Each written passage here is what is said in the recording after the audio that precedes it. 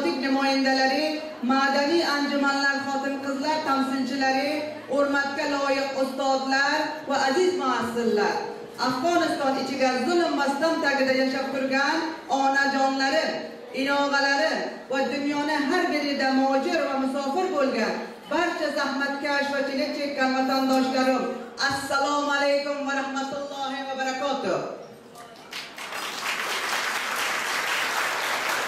O'z xush kelibsizlar. Qadamlaringizga hasanot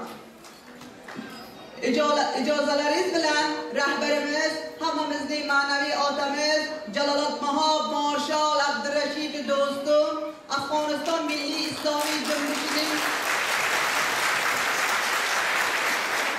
rahbari va quruvchisining xizmat salomlarini vasila bo'laman. Afg'onistonga yuz bergan musibatlar va alamli hodisalar hammamizni ko'p mutassir qilib keldi. Yigitlarimizni e'dom qildilar va xotin qizlarimizni sansor qildilar maktablarimizni yoqdilar.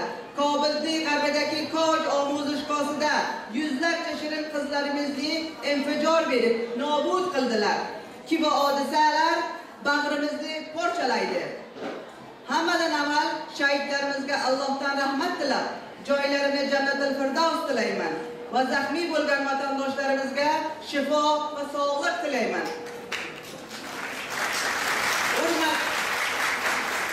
Hurmatli do'stlar ushbu yig'ilishdanada hammamizga ma'lum. Afg'onistonga ro'y bergan vaziyat jahon xalqlarini ham mutaassir qilgan.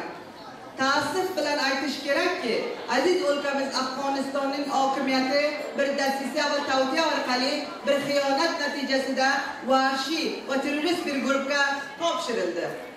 Toliblarning vahshiy va ifrotiy guruhi qudratli afg'oniston qo'lga olgandan beri bechora va notavon xalqimizga qilmagan zulm va istibdodlari qolmadi. Toliblarning qarongi va dahshatli soyalari afg'onistonga tushgandan beri xalqimiz qattiq azob va musibatlarga tushdi. Har kun qo'rqinch hodisalar yuz ko'rsatmoqda. Bechora va notavon millatimiz shikanja qilib ko'p aziyatlarga duchor qilganlar. Qattiq qish kunlarda gariblik va bechoralik bir tarafdan ish yo'qligi va imkoniyatsizlik boshqa tarafdan mushkulotlar oxir safiga kelgan. Hadaflari afg'onistonda bir qo'rqinch va dahshat fazosini o'rtaga keltirib millatning ko'zini qo'rqitmoq bo'lsa kerak. Natijasida afg'onistonda yuz yillarcha keyinga eltib islom dinini otini suiistifoda qilib xoinona adablarini amalga qilmoqdir. Shundoq bir vaziyatda berahm va beotifa toliblar kundan kunga qattiq va chidami zo'r bo'lgan bir, bir fazoni taxmin qilib kelmoqdalar.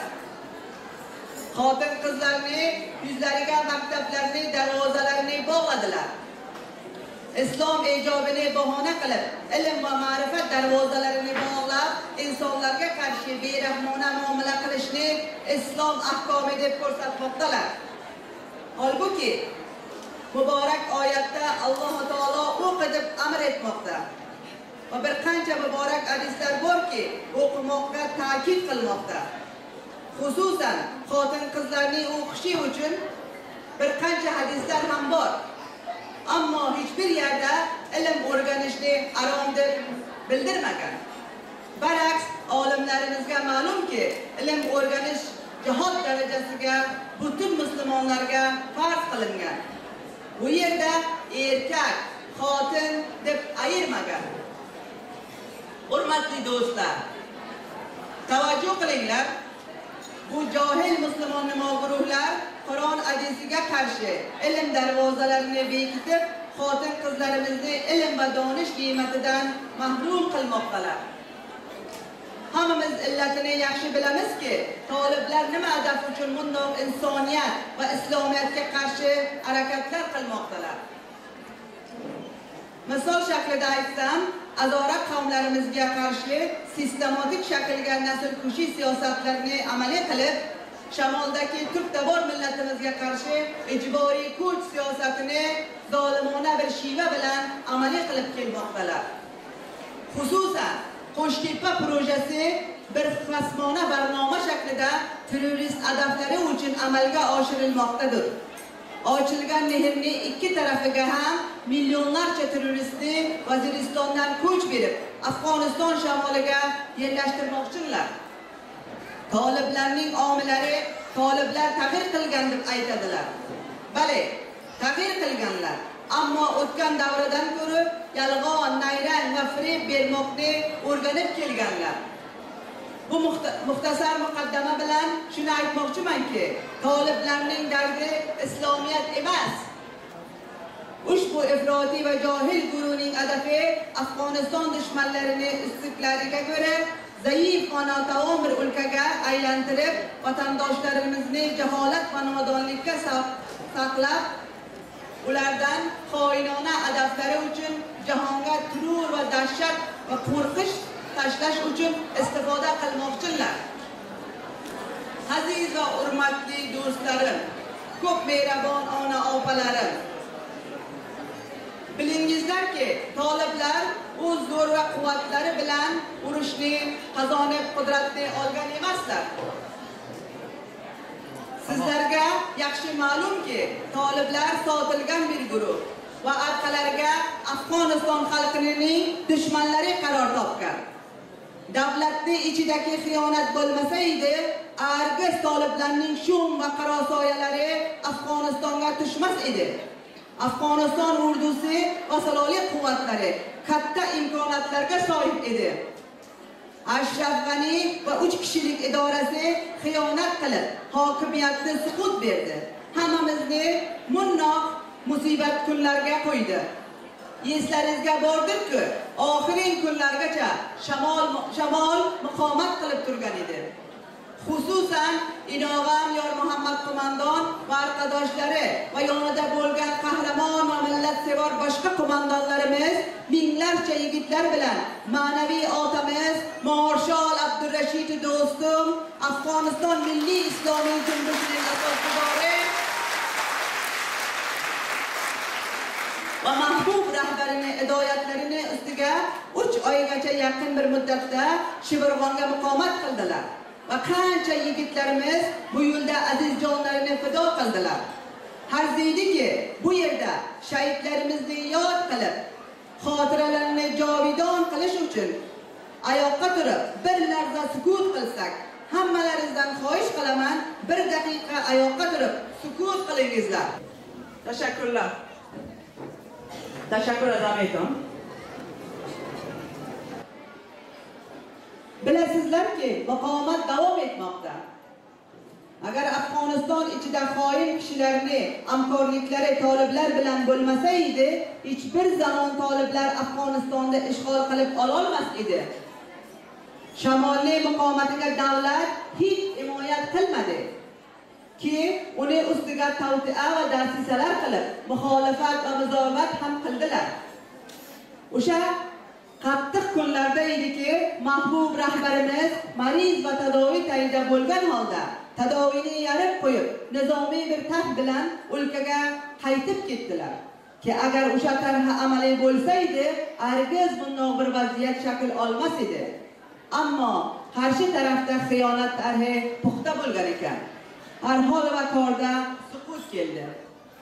Aziz va hurmatli opa singillar yaxshi bilishimiz kerakki ortiq bu vaziyatdan qurtulish uchun bir dona yo'limiz bor.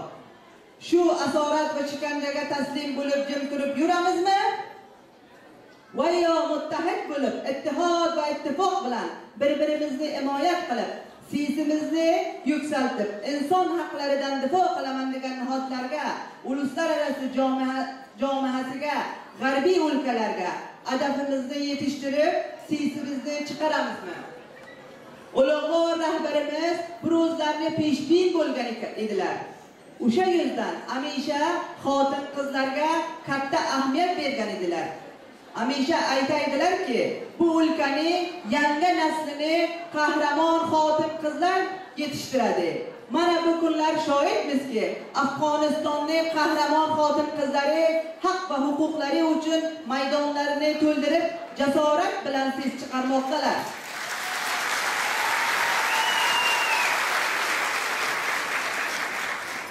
Jumbish Milliy Islomiy Afg'oniston birinchi ro'z qurilgandan beri xotin qizlarni tahsil va o'qishlarini muhim bo'lganiga ta'kid qilib kelganlar. Bilasizlarki, Jumbishni tillohiy davrasida mazori Sharifga bir necha bor, bir necha bor oliy o'quv yurtlari, ya'ni puantumlar ochildi va tavsiya topdi. Undan so'ngra boshqa katta viloyatlarga ham oliy o'quvlar ta'sis bo'ldi. Xotin qizlar uchun layliyalar obod bo'ldi. Va shaxsan rahbarimiz tomonidan masorifi ta'minlandi va boshqa sarmoyador va tojir ham yordam berdilar. Jumbish piruz bo'lgandan so'ngra birinchi martaba ham yigitlar va ham tahsil e, am ham qizlarimiz tahsil uchun xorijga yuborildi. Rahbarimizning so'zlarini xotirlaymanki, aytadilar turkiyaga birinchi safar borganimda turkiyaning o zamonki jumhur raisi marhum turgut o'zal nima yordam beray deb so'radilar men aytdimki ham poramiz bor va ham neyrumiz. Yordam bermoqchi bo'lsangizlar maktab ochib beringlar. Saygıdeğer değerli misafirler, burayı size Türkçe tercüme etmek istiyorum. Sayın marşalimiz, sayın rehberimiz, atamız birinci sefer Türkiye'ye 1993'te davet edildiğinde o dönemki Cumhurbaşkanı Sayın rahmetli Turgut Özal Sayın Marşalimizden soruyorlar. Ne ihtiyacınız var? Ne yardım edelim? Sayın Marşalimiz diyor ki bizim hem ordumuz var hem gücümüz var hem kendiniz para basıyoruz. Eğer bize yardım etmek istiyorsanız bize okul açın. Ondan sonra tüm büyük e, illerimizde Türkiye'nin okulları açıldı. Mezar-ı Şerif, Kandahar, Kabil gibi. O'sha ediki Kobilga, Kandaharga, Mazor Sharifga va boshqa bir qancha viloyatlarga turkiy maktablar ochildi. Birinchi martaba oyna televizioni qurildi va xotin qizlarimiz natoqlik sifatida zohir bo'lib, o'z ona tillariga nasharot berdilar. Birinchi martaba xotin qizlar uchun siyosiy tashkilot qurildi. Jumbish bunyasida xotin qizlar sho'rosi ijod bo'ldi va ko'p ko'p katta ishlar bo'ldi. O'tdiki bu jalsaning zamoni aytishiga yetmasa kerak. Shu yutuqlarning natijasi ediki afg'onistonda demokratik nizomlar shakl oldi. Xotin qizlar huquqiy asosiy qonunda tasjil bo'ldi.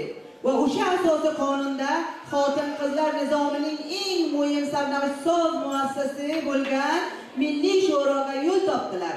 Va alhamdulillah men ham ushbu korvonni ta'qibchilaridan biriman. Shuni iftixor bilan aytishim kerakki parlament saylovlarida o'z yaqin hamkor va do'stlarim bilan ko'p faol shaklga xotin qizlarni basij qilib sho'roning shakl olishiga sam oldik. Va Afg'oniston sathida Javzujon viloyati xotin qizlarning qatnashish o'rinlari birinchi bo'lib chiqdi. Afg'oniston shamolida hizbimizning mehvaratida shakl olgan davlat idoralari soyasida ki 20 yilda qancha soyalarda demokratik haqlar shakl olib keldi. Bugun agar afg'oniston ichkarisida bir harakat bor bo'lsa u harakat shu qahramon va jasur millatimizning o'qigan avlodlariga bor. Demokratik haqlarni bilan demokratik haqlarni bilgan va tonigan insonlar argiz toliblarni zulmga tan bermaydi. O'shandoqki millatimizni rifoyati va osoyishlikka چکشلری اوچون مجادله برگم بولتک یه نه هم ملت مز مبارزتنی تداوم اوچون یار و یان باشدرگه کرمز خوهران و مادران عزیز و آزرین گرامی اما ایش امروز ما نشان دهنده آن است که دیگر زنان و دختران افغانستان به مرحله درد و فهم حقوق و مکلفیات های اجتماعی خود رسیدند حرکت های دادخانه خواهرانمان در داخل کشور و در عین زمان تظاهرات و امایش های هموطنان ما در گوشه و کنار کشورهای و جهان بیان کننده رسیدن به یک سطح فهم و آگاهی است که ما را امیدوار می سازد ما از حرکت های دادخانه خواهران خیش حمایت می نماییم و از جهانیان می خواهیم تا صدای عدالت خواهانه ایمان را به گوش مقامت جهان رهبران کشورها برسانند.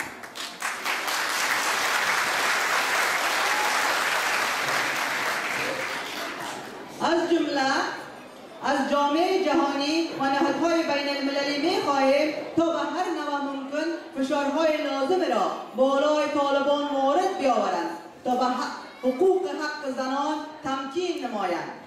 دوستان عزیز پدر بزرگوارم بارها گفتند که ترک عجلانه افغانستان توسط نیروهای ناتو و ایالات متحده امریکا اشتباه بزرگی خواهد بود. یقین داریم که آنها این صدا را بارها شنیدند ولی توجه نکردند. باید این اشتباه را تکرار نکنند. حاکمیت طالبان را به رسمیت نشناسند.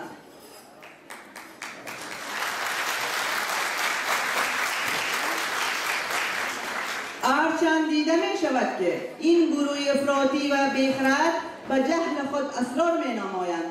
سازمان ها و نهادهای بزرگ جهانی واکنش ها و اعتراض های زیادی صادر کرده اند اعتراض علمای اسلامی مصر سازمان کشورهای اسلامی دهها نهادهای معتبر با صراحت اعلام نمودند که تصامیم طالبان درباره زنان و سایر مسائل اجتماعی ارتباطی به دین اسلام ندارد این عمل آنها خلاف موازین انسانی و اسلامی است. اخیرا رئیس جمهور ترکیه محترم رجب طیب اردوغان نیز واکنش خیش را به صراحت ابراز نمودند.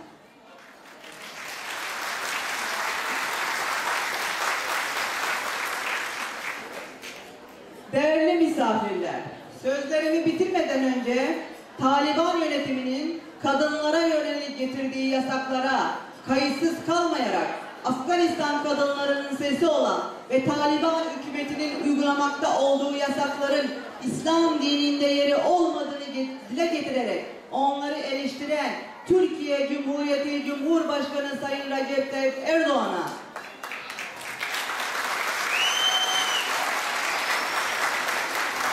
ve Türkiye Cumhuriyeti Dışişleri Bakanı Sayın Mevlüt Çavuşoğlu'na teşekkürlerimizi sunuyoruz.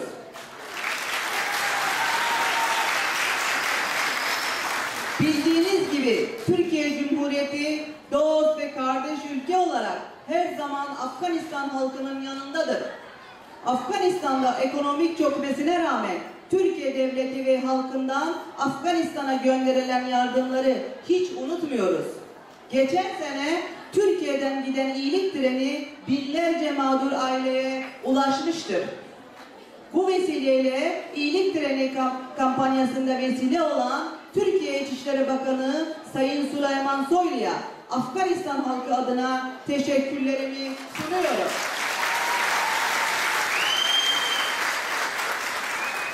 Ayrıca bu, bu konferansı düzenlemesinde emeği geçen herkese şükranlarımı sunuyorum. Herkese katılım sağladıklarınız için siz annelerimize, ablalarımıza, kardeşlerimize, hepinize teşekkür ediyorum. Hoş geldiniz, sefa getirdiniz. Sağ olun, var olun.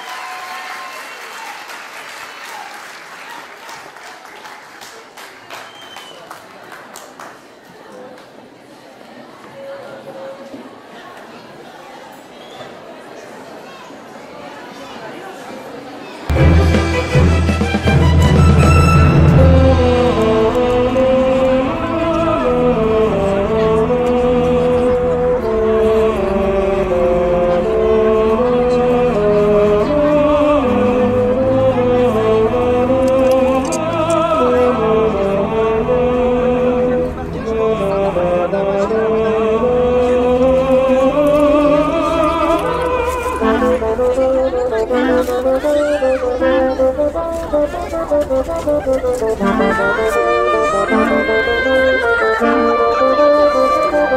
you.